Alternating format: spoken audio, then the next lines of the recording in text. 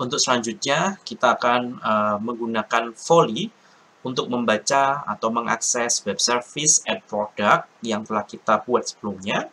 Dan kita akan mengirimkan tiga data melalui web service tersebut ya. Tiga data itu antara lain harga nama produk serta deskripsi produk oke. Pertama-tama uh, saya sudah set up project baru. Uh, di sini pertama-tama kita harus menambahkan internet permissions lakukan itu di manifest ya Anda buka manifest seperti biasa di bagian atas applications Anda tambahkan users permissions Android permission internet supaya diizinkan uh, akses internet. Oke. Okay. Kemudian um, yang kedua uh, kalian perlu menambahkan volley ya. Volley di bagian implementations build Gradle-nya di bagian dependensinya. Seperti ini ya. Jadi Anda lihat implementations com Android Volley Volley versi 1.1 kita mau pakai library ini. Jadi Anda tambahkan di bagian dependensi uh, yang terletak di build Gradle module app. Jangan lupa tekan sing now. Oke. Okay? Nah, kemudian uh, di bagian main activity uh, kita akan membuat objek volley, kita akan membuat objek string request ya, seperti yang kita lakukan di tutorial yang pertama. Anda kembali ke main activity, di sini Anda ketik uh, volley. Tunggu sebentar. Nah ini sampai keluar merahnya ya. Anda tekan alt enter agar diimport volley.new request queue. Di sini Anda pakai this sebagai konten dan objek volley-nya kita simpan di sebuah variabel misalkan uh, volley gitu ya nah seperti ini Kemudian kita juga punya URL yang akan dituju. Anda ketik var URL sama dengan uh, http localhost store at product.php. Ini alamat lokal web service yang telah Anda buat sebelumnya. Oke. Okay? Nah, pada tutorial pertama kita membaca data JSON ya melalui object string request ya. Artinya uh, kita mengharapkan data dari server, dari web service-nya. Sedangkan pada tutorial kali ini, kita akan melakukan cara kebalikannya, yakni kita mau mengirimkan data ke server. ya. Jadi kita mengirimkan data ke server melalui volley yang akan ditangkap oleh addProduct.php. addProduct.php selanjutnya akan menginsertkan data tersebut ke dalam database kita. Oke, nah data untuk itu, data dapat dipasang dalam bentuk objek parameter di dalam volley. Nah, syaratnya adalah kita harus melakukan override fungsi getParams yang ada di dalam objek string request kita. Oke, okay? caranya bagaimana mengoverride fungsi uh, getParam ini? Um, Pertama-tama Anda akan menggunakan yang namanya anonymous class, ya. Kalau nggak mau pakai anonymous class, Anda mesti ciptakan class, class tersendiri, class terpisah yang turunan dari string request. Uh, berhubung itu tidak diper, tidak terlalu dibutuhkan ya, it's not necessary ya creating a class for these occasions karena kita hanya pakai satu kali aja. Maka kita akan menggunakan anonymous class. Ini cara Java ya, artinya kita membuat menciptakan class pada saat objeknya diciptakan. Oke. Okay? perhatikan pada bagian program ini, var string request, bla bla bla bla bla, di mana kita menciptakan objek baru dan kita memanggil istilahnya konstruktor dari kelas string request. Nah, kita akan ubah menjadi seperti ini. Jadi var string request, nah di Kotlin caranya adalah objek titik dua, ini adalah kelas tanpa nama, sekaligus menciptakan objeknya, dan turunan dari string request. Jadi kita menciptakan kelas baru di sana. Ya memang cara ini agak cara Java kalau kelihatannya ugly tapi ini ber, uh, sangat berguna untuk get uh, pengiriman data melalui get param oke langsung aja kita praktekkan. Kita ketik var s string request sama dengan kelasnya adalah string request seperti ini. Oke dan biasanya kita punya uh, beberapa parameter yakni method get, URL, dan seterusnya. Nah, Kali ini kita tambahkan objek di depan, objek, sehingga dia menjadi anonymous class, sekaligus menciptakan objeknya, Sehingga kita bisa declare isi kelasnya seperti ini. Anda, tam, uh, Anda beri kurung kurawal buka, kurung kurawal tutup, kemudian kita declare isi kelasnya, kita uh, kita atur ulang isi kelasnya, di mana kita akan melakukan override get params. Oke, okay? Um, kita isi dulu beberapa ininya ya, beberapa parameter yang diperlukan. Yang pertama adalah request uh, method post. Sorry, ini harus di alt enter dulu, teman-teman. Import request dot method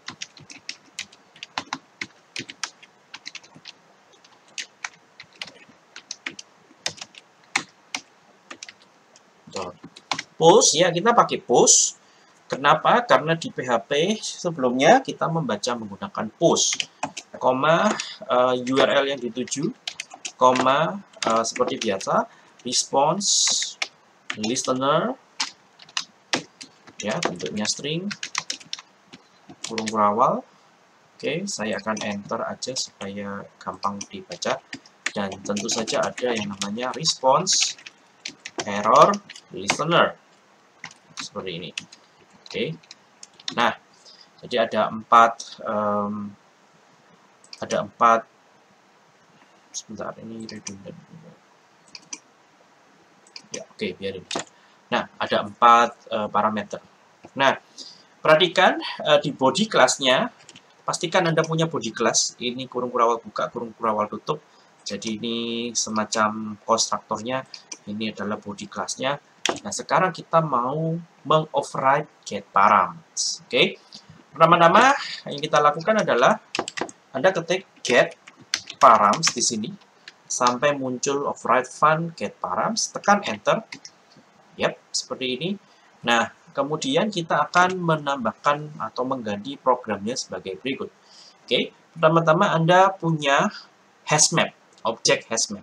Hashmap ini adalah semacam penyimpanan ya objek yang dapat menyimpan data yang biasanya terdiri dari dua pasangan key dan value. Oke, okay.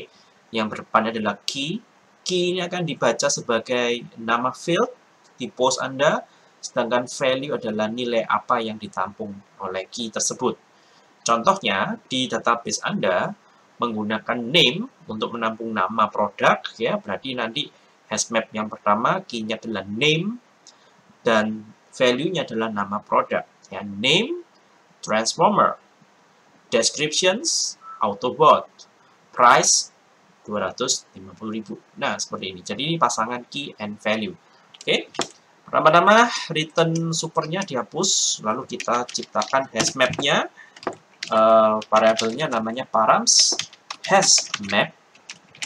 Key and value bisa macam-macam tipe datanya tapi di sini kita gunakan string-string, biasanya umumnya seperti itu. Oke, okay, string and string, key-nya string, value-nya juga string. Oke, okay, yang pertama kita akan injekkan data kita menggunakan params.put name transformer params.put description. Ingat ya, kita menggunakan DSC yang lengkap ya, yang nama panjangnya sesuai dengan database. Outs, tunggu, tunggu, tunggu. Sebentar, saya cek dulu ya. Kayaknya tidak ya, kayaknya tidak. Karena apa? Karena dollar push yang ada di PHP kita menggunakan DESC. Jadi mengharapkan variabel dengan nama ini. Oke, jadi nama-nama variabel ini harus yang di dollar push maksud saya harus sama persis dengan nama key-key yang ada di params.book yang ada tulis di sini. Jadi DESC um, Autobot rule out.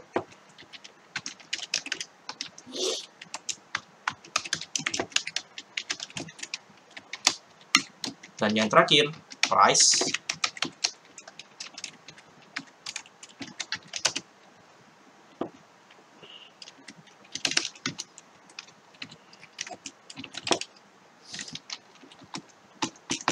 Nah, oke. Okay ini walaupun double biarin aja string karena nanti uh, di PHP-nya akan dikonvert menjadi double secara otomatis dan dimasukkan ke dalam database.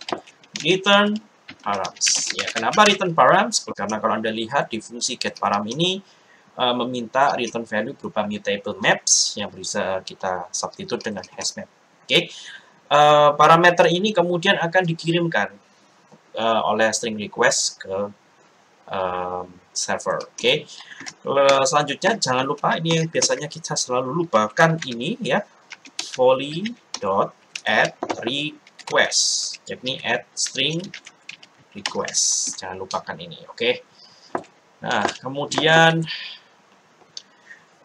ada satu permasalahan ya, Anda tidak bisa menggunakan URL localhost di sini ya, karena kalau Anda coba melalui emulator, localhost di emulator tidak bisa dibaca alamatnya dengan benar, sehingga Anda harus mensubstitute dengan ini. 10 0 2 2 10 0 22 ya. Apa itu? URL apa ini ya? IP apa ini? Um, emulator memiliki firewall atau router yang mengisolasi dirinya dari localhost sehingga ada uh, eh, IP tertentu yang dijadi uh, yang dipakai oleh emulator yang menjadi gateway men, agar bisa connect ke localhost kita. Uh, gateway-nya menggunakan URL 10022. Ya, Anda bisa baca di website ini supaya bisa tahu uh, eh, URL apa lagi yang yang bisa uh, dipakai atau dimanfaatkan oleh emulator ya. Di sini 1022 adalah uh, gateway yang akses ke lokal kita atau 127.001 yang kalau kita pakai di uh, uh, web web PHP kita ya, lokal host PHP kita. Nah, oke. Okay. Lanjutnya adalah kita mau menampilkan hasilnya either sukses or fail. Oke, okay? kita mau tampilkan di response listener. Oke, langsung aja teman-teman. Sebelum itu Anda buka layoutnya dulu. Hello World-nya ini tolong diberi ID. Saya kasih nama ID txt result. Oke, okay, enter. Kemudian di bagian main activity, di bagian response listener, ingat ya ada dua ya, response listener dan response error listener. Di bagian ini saya mau tampilkan hasilnya. Next day result dot text sama dengan it dot um, uh, response ya. Atau it itu juga bisa sih. Kalau anda mau menampilkan atau anda tidak mau mengconvert menjadi JSON sementara saya akan tampilkan apa adanya. Tidak saya tidak saya convert dulu objek JSON-nya. Kalau di slide ya di convert. Oke nanti kita lakukan ini. Oke. Nah um, untuk emulator, perhatian jika pakai emulator di lab Ubaya, matikan terlebih dahulu proksinya agar bisa akses localhost di komputer Anda. Kalau Anda komputer rumah, no, no worry about this. Oke, langsung aja ya teman-teman, kita akan jalankan ini ya, jalankan uh, aplikasinya menggunakan emulator yang sudah saya siapkan. Uh, perhatian, uh, ini saya hardcode ya sementara ya. Jadi tiga data ini, tiga informasi ini kita hardcode, nanti akan ada PR, di mana Anda harus uh, menggantinya ini supaya tidak hardcode lagi. Oke, okay? Jadi harapannya transformer, autobot, dan price ini akan terkirim dengan baik. Ya, Anda bisa baca di sini hasil sukses. Oke, okay? um, okay, saya akan coba uh, cek di database-nya, database produk harusnya kita mendapatkan dua data sekaligus sorry maksud saya ada dua record ya record Toy Story dan uh, Transformer ya seperti yang Anda lihat ya Transformer yang kita kirimkan melalui aplikasi berhasil sukses diterima dan masuk ke sini oke okay? Nah tapi Anda lihat ini masih hasil uh, berbentuk ini ya berbentuk uh, JSON string. Belum belum Anda konversi menjadi JSON object untuk mengkonversinya, Anda bisa menggunakan cara yang ada di slide, yakni kita um, sebentar, ya, Anda punya JSON object ya di uh, response, results-nya kemudian ditampilkan ke string hasil. Anda bisa cari pakai cara gitu ya, karena ingat ya, kalau kurung kurawal seperti ini artinya objek. Jadi Anda convert menjadi objek, JSON object, Kemudian untuk menampilkan properti hasil, Anda gunakan obj.getString dalam uh, dalam siku hasil. Oke. Okay.